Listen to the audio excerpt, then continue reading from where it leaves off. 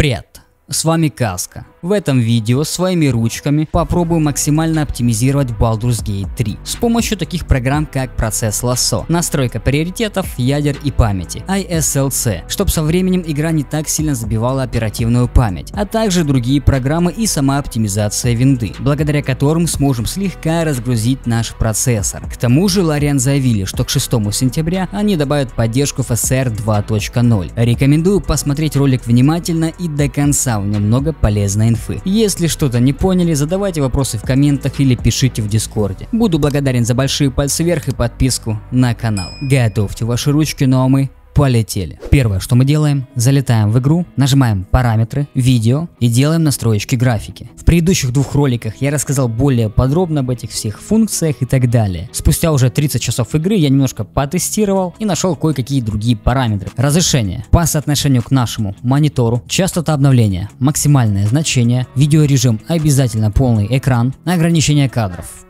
Тут по желанию, как вертикалка, я оставлю 144 кадра. Качество моделей. Средняя. Детализация. Низкое. Расстояние. Средняя. Текстуры. Средние. Фильтрация текстур 8x. Детализация отдаленных движущихся объектов. Низкая. Динамические толпы. Отключаем. Качество теней. Низкое. Качество тумана средняя. DLSS, если есть поддержка, ставим на качество, если нет, включаем AMD FSR и ставим ультра качество. В таком случае у нас сглаживание переходит на TAA. Я же DLSS или FSR не включаю, а оставляю сглаживание на Delay. Затенение фонового света. Отключаем. Лучи свечения и рассеяние света снизу можете оставлять включенными. Сохраняем настройки. Если у тебя есть большое желание поддержать автора этого канала, то есть меня, можно это сделать на моем Boosty, но без подарочков и разных фишек, плюшек я вас не оставлю. Вас ожидает специальный архивчик для Boosty с твиками, реестрами и максимально жесткой оптимизацией, а также гайд по этому архиву, который я записал на более чем 30 минут. Все ссылочки будут в описании. После того, как настроили график в Baldur's Gate 3, мы качаем архив по ссылке в описании и перекидываем папку на рабочий стол. Открываем папку «Оптимизация». И здесь у нас есть ISLC, процесс лассо, Quick CPU и настройка видеокарты. Если мне не доверяете, я оставлю ссылочки в описании на официальные сайты этих программок. Вот у нас Quick CPU, процесс лассо и ISL.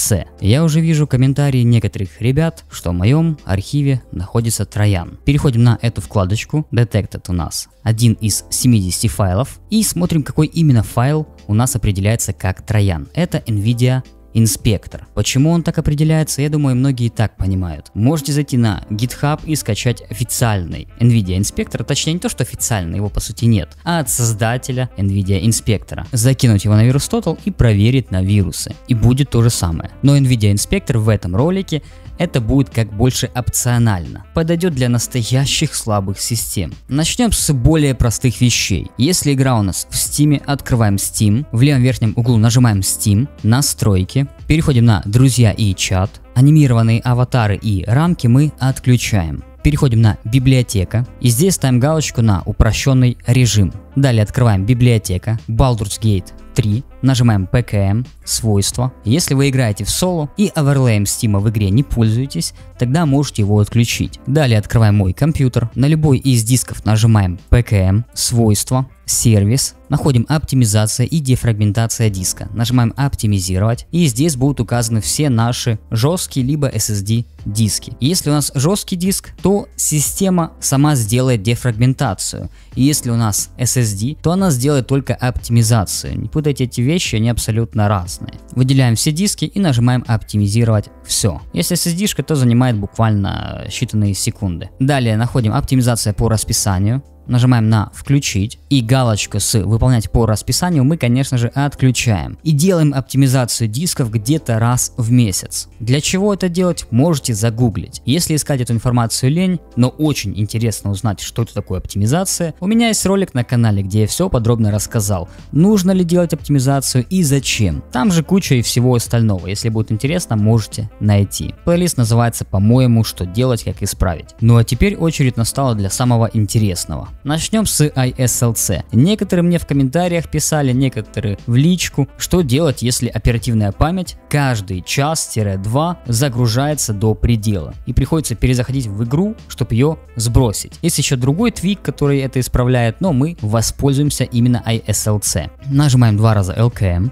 да, нас интересует вкладка Free Memory. Если у нас 16 ГБ оперативной памяти, тогда пишем 8192. Если у нас 8 гиг оперативы, делим это число на 2. Таймер Resolution. Пишем 0.50, ставим галочку на Enable Custom, Rate MS 500 и нажимаем Start. Для того, чтобы не делать настроечки каждый раз по новой, можем поставить галочки на старт ISLC и Launch ISLC. Я обычно так не делаю, а перед запуском игры прописываю все заново, нажимаю старт и иду играть. Как поиграли, вышли, нажимаем просто стоп. Открываем Quick CPU, два раза LKM, Next, ставим галочку Next, Next и Install. Да, нажимаем Finish, да. У нас запускается Quick CPU, мы находим System Power Plan. Если вы смотрели предыдущий ролик, и активировали команду максимальной производительности, тогда выбираем здесь максимальная производительность. Ставим все на 100% и нажимаем Apply. Иногда в некоторых ситуациях Turbo Boost работает от 90 до 99. Не знаю, мне просто скидывали пацаны скриншоты, что на 100% оно работает как-то не так. Когда ставишь 97, 98, то он будто бы начинает работать. Я думаю, это все-таки больше исключение из правил, но тем не менее, чтобы вы просто знали. Это делаем перед каждым входом в игру. Открываем процесс лассо и делаем ее установку. Окей, принимаю. Далее, диск C, установить. У нас запускается сразу же процесс лассо, и здесь нас интересует по сути парочку настроек. Нажимаем главное, активный профиль питания, выбираем максимальная производительность. Я тестил, в моем случае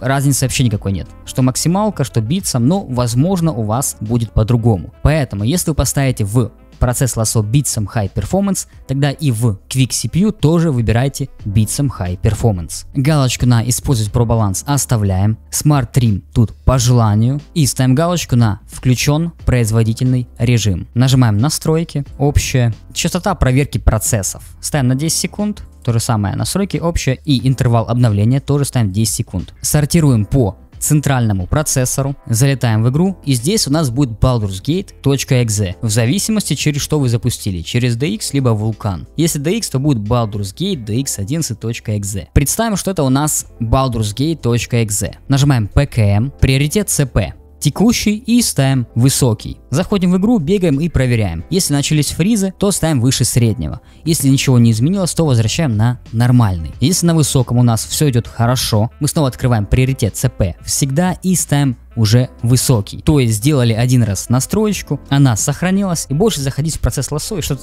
настраивать не нужно. Далее, тоже PKM на Baldur's Gate, соответствует CP текущий и нам нужно убедиться, что все галочки на наших процессорах стоят включенными.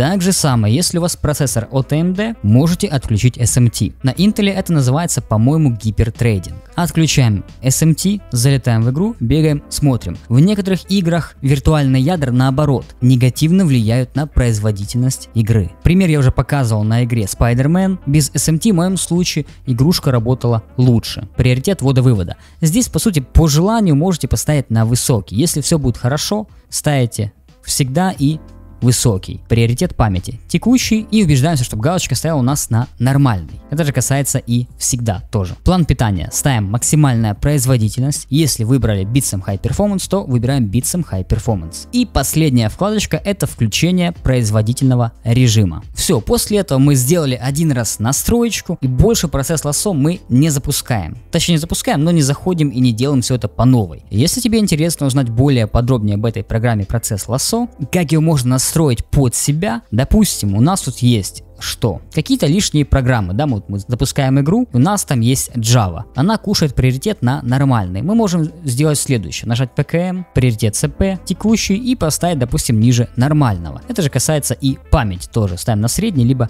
низкий. То же самое делаем с Дискордом, с музыкой, если вы играете с музыкой, ну, допустим, я не знаю, и всеми другими подобными программами. Более подробно я рассказал у себя в ролике на канале по настройке процесса лосо. Если будет интересно, ссылочка будет в описании и где-то в правом верхнем углу. Открываем настройка видеокарты. Здесь у нас есть настроечки, по сути, те же самые, что из прошлого ролика, но в NVIDIA есть кое-что интересное. Это NVIDIA Inspector. Его используем опционально и только для слабых систем, у кого слабая видеокарта. Иначе, ну, смысл вам портить себе картинку. Мы запускаем NVIDIA Inspector, пишем Baldur's Gate 3 и делаем настроечки так, как указано здесь на картинках. Но с этим мы можем немножко повременить. Есть более интересная вкладочка, называется антиалиазинг. Здесь мы находим супер сэмплинг. Выбираем Replay мод All, опускаемся чутка вниз и находим лот BIAS DX и лот BIAS OGL. С вулканом, скорее всего, эта фишка не будет работать. Но в любом случае, я тестировал на двух системах, и DirectX показал себя в разы лучше, чем вулкан. Во-первых, на 10 FPS больше, во-вторых, более стабильно идет игра. С вулканом у меня были фризы где-то раз там в 30 минут. На DX я такого вообще не заметил. Лот BIAS DX находим и ставим поначалу плюс 1.0. Далее лот BIAS OGL тоже плюс 1.0. Поставили и нажимаем Apply Changes. Залетаем в игру, смотрим на картинку, смотрим на FPS. Если все устраивает, так и оставляем. Если нет, можем наоборот сделать чутка меньше. Допустим, картинка слишком мыльная стала. Можем сделать чутка меньше. Либо,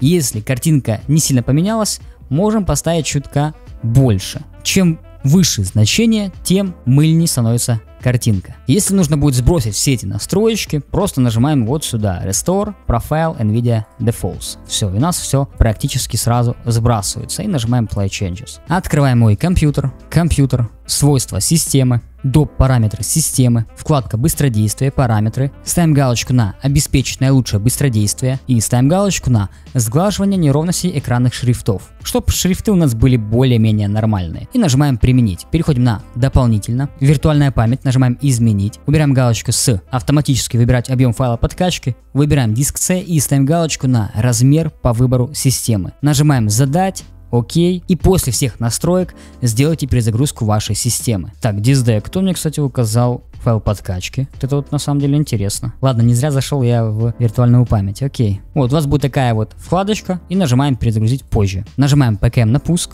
параметры, конфиденциальность, опускаемся слегка вниз, находим камера. Если вы используете вебку, тогда оставляете включенным. Если нет, тогда отключаем. Микрофон, скорее всего, есть, поэтому оставляем включенным. Голосовая активация. Отключаем, уведомления. Отключаем, сведения отчетной записи. Отключаем, контакты. Отключаем, календарь тоже отключаем, телефонные звонки, вызовы, почта, задачи, обмен сообщениями, радио, и диагностика приложений. Все это спокойненько отключаем. Переходим на фоновые приложения. Я это уже говорил в предыдущем ролике. Еще раз повторюсь. Нажимаем галочку и отключаем все фоновые приложения. Нажимаем поиск, пишем центр обновления винды. Нажимаем проверить наличие обновлений. Если будут доступны обновления, они скорее всего будут. Особенно если вы не проверяли свою систему где-то полгода. Все это качаете, делаете установку и перезагружаете свою систему. После этого нажимаем поиск, пишем службы, а опускаемся в самый низ и находим центр обновления Windows. Тип запуска ставим отключена, применить, ну и тут скорее всего будет написано остановить, то есть мы ее останавливаем. Если нужно будет обновить какие-то приложения через Microsoft Store, либо саму винду, нажимаем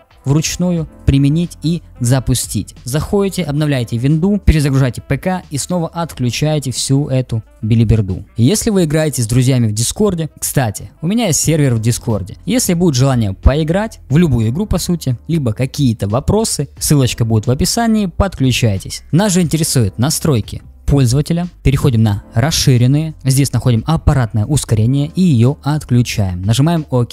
Ну и кстати еще одна фишка, возможно в будущем ее пофиксят. Во-первых, как я говорил ранее, мы игру запускаем не через Vulkan, а через DirectX 11. В моем случае на плюс-минус 10 кадров больше и более стабильная производительность. Во-вторых, когда запускаем игру, после этого не забываем закрыть лаунчер. Я читал комментарии под западными роликами и чуваки писали, что лаунчер забирает набирает примерно 10-15 кадров. Как это выглядит? Нажимаем играть и просто закрываем лаунчер.